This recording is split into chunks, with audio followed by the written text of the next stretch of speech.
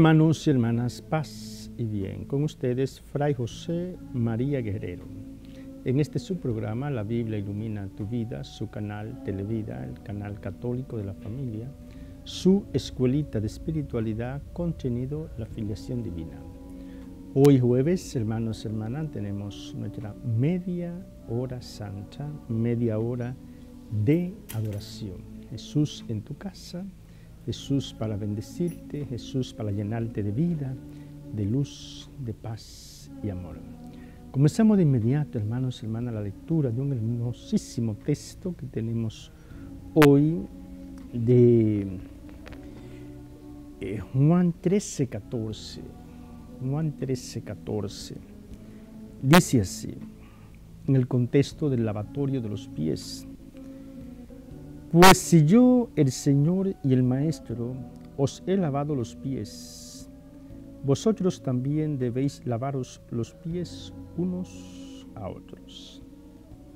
Jesús, hermanos, hermanas, el Señor, el Maestro, el Hijo de Dios, el Mesías, lavando los pies a los apóstoles. Y en los apóstoles, hermanos y hermanas, lavando los pies a cada discípulo, a cada discípula. Si no podemos pensar que es un gesto del maestro solo reservado a los doce, a las columnas de la iglesia, del nuevo pueblo de Dios. No, es un gesto que el maestro y el Señor lo hace para con cada discípulo, para con cada discípula. ¡Wow! Me encanta, hermanos y hermanas, este, este versículo y este, esta escena en la vida histórica de Jesús. Jesús tiene conciencia de que es el Señor y el Maestro. Pues si yo, el Señor y el Maestro, es el Señor, es Dios, es el Mesías y el Maestro que enseña el camino correcto para llegar a Dios. El Señor y el Maestro lava los pies a sus discípulos y discípulas. Él lo ha hecho, también nosotros debemos hacerlo, hermanos hermanas. Este versículo puede, una, luz para entender este versículo nos la da Marcos, el capítulo 10, verso 45. Dice el Maestro, el Mesías, el Señor, que tampoco el Hijo del Hombre ha venido a ser servido, sino a servir y a dar su vida como rescate por muchos. El Hijo del Hombre no ha venido a ser servido, sino a servir y dar su vida en rescate por muchos. Hermanos hermanas, eh, sabemos que, que la medida del ser humano en su realización es Jesús. Él es el ser humano perfecto. Y repito, Él es la medida del ser humano en su realización como ser humano. Un ser humano que, que busque la plenitud de su realización sobre la tierra en el decurso de su vida. Debe ser como Jesús. Debe ser como Jesús, revestirse de los sentimientos de Cristo, como dice Pablo.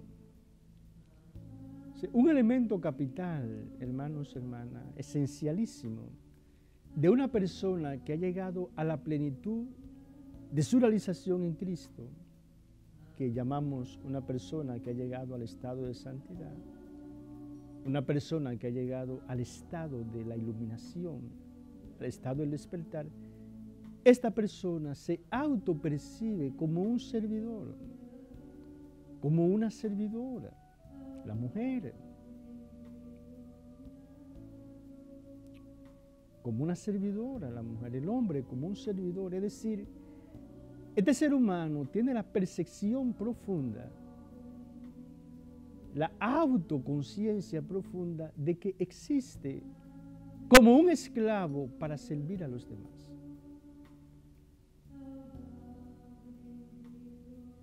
Por eso este texto es tan importante, hermanos y hermanas.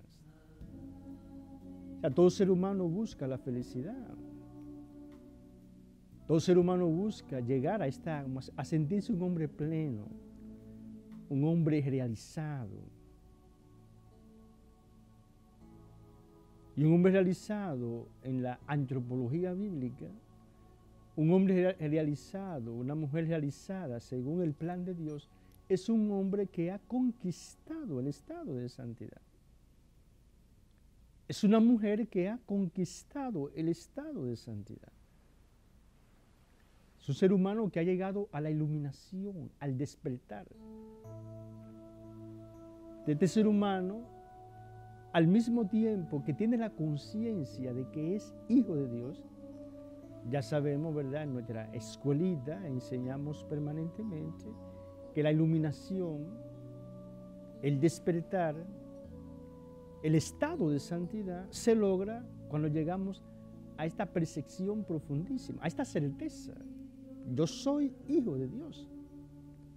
Es lo que llamamos la certeza de la esencia, que es superior a la certeza de la existencia. La certeza de la esencia de que soy hijo de Dios supera la certeza de la existencia. Este, ya tenemos un ser humano iluminado. Este ser humano tiene la certeza de que es hijo de Dios. La mujer hija de Dios. Pero al mismo tiempo, este ser humano tiene la certeza de que es un esclavo que existe para servir a los demás, para lavar los pies,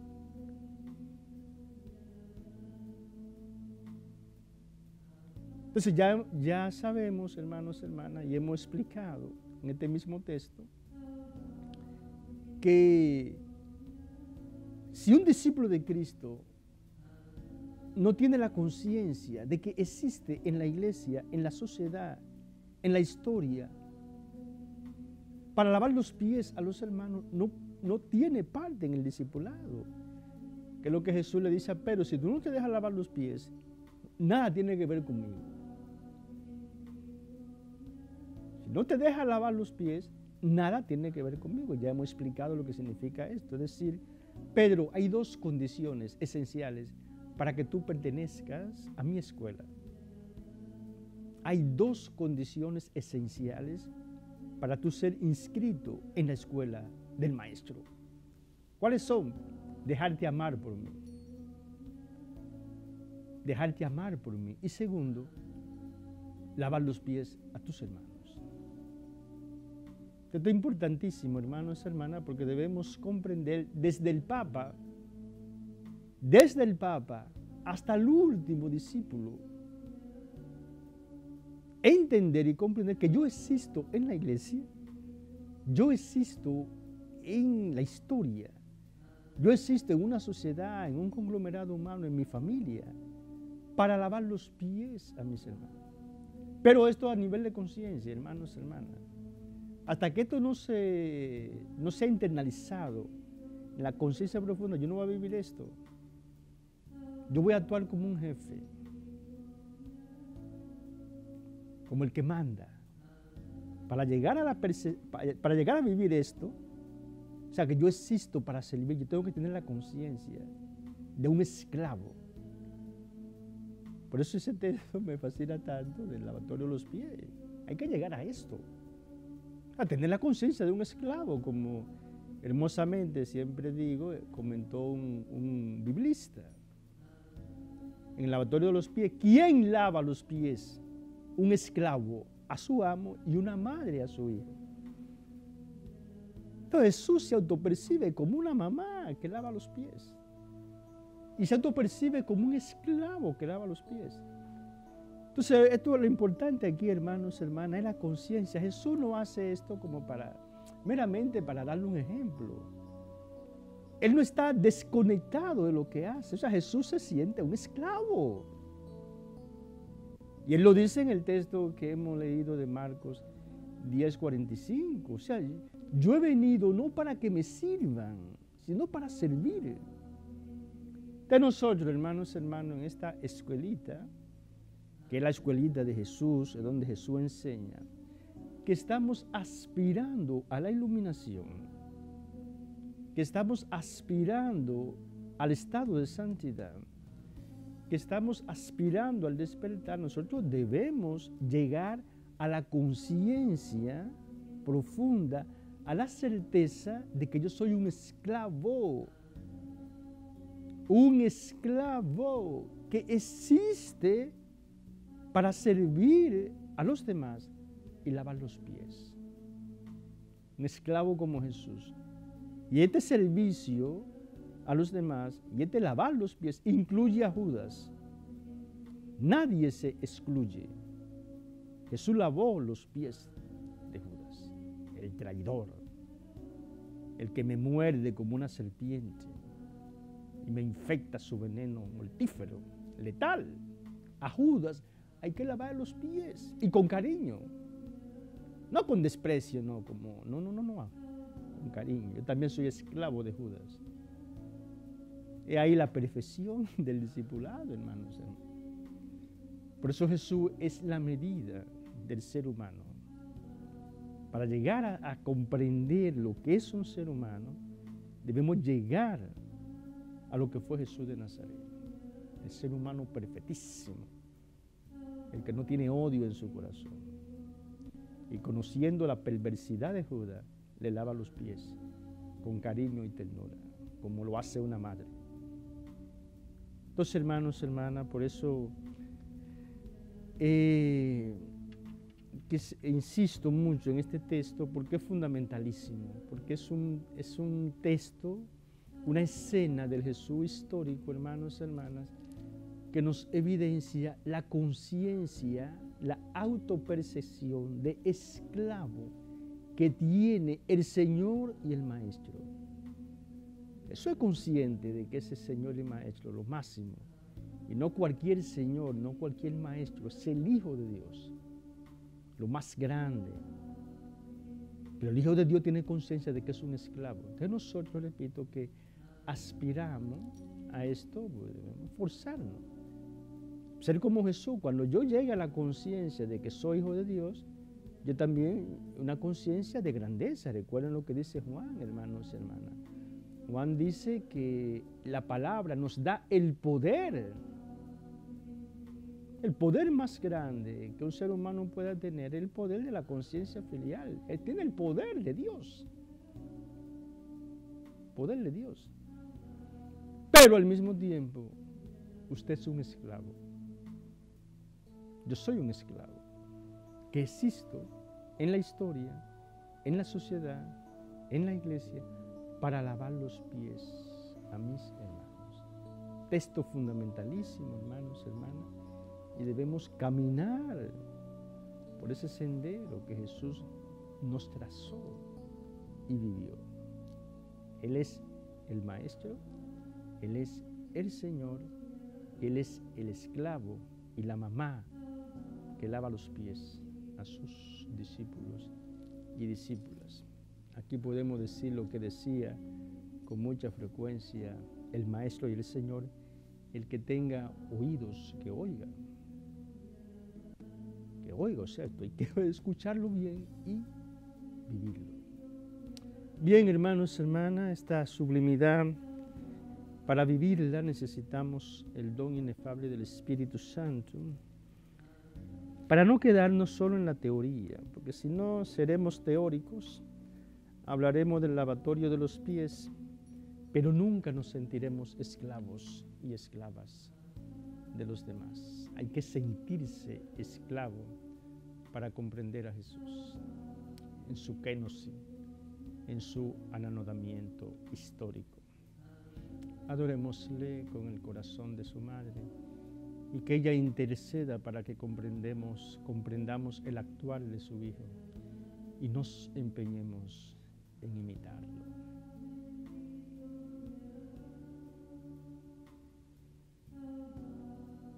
Señor mío y Dios mío, creo firmemente que estás presente en la hostia sagrada, en la plenitud de tu amor, en la plenitud de tu poder, en la plenitud de tu divinidad. Creo en ti y te adoro.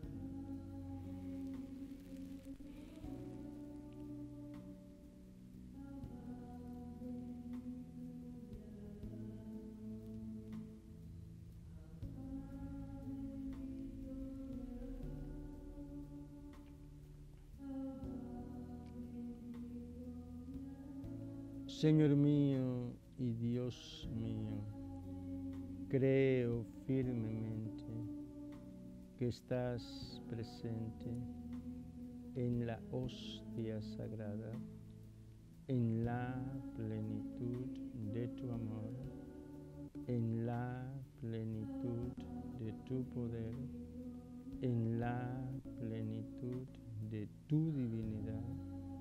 Creo en ti y.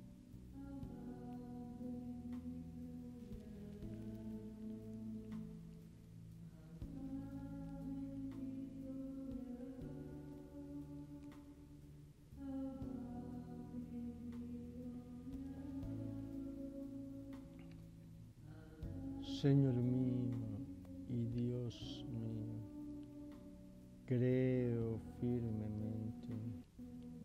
que estás presente en la hostia sagrada, en la plenitud de tu amor, en la plenitud de tu poder, en la plenitud de tu divinidad. Creo en ti y te adoro.